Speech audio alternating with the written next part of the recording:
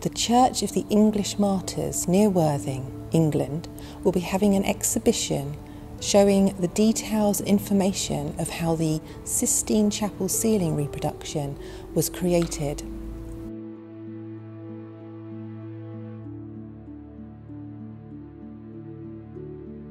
Between the years 1987 and 1993, a signwriter from this parish single-handedly painted a copy of the Vatican Sistine Chapel by Michelangelo.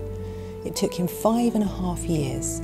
If you're visiting England, if you're down on the south coast, if you're around the area of Worthing, if you can't get to Rome to see the Sistine Chapel, come along to this little Catholic church in Goring by Sea. Take a look at the Sistine Chapel ceiling, which was painted with acrylics, and have a look at some exhibition boards. There's three of them around the church.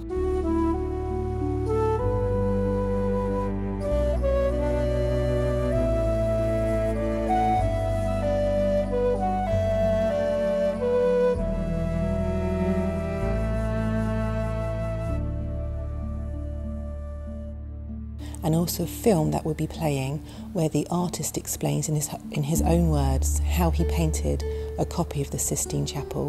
It's the only exact copy of the ceiling and it's, um, it's lower down than the original so it's very interesting to come and have a look. There's lots of information.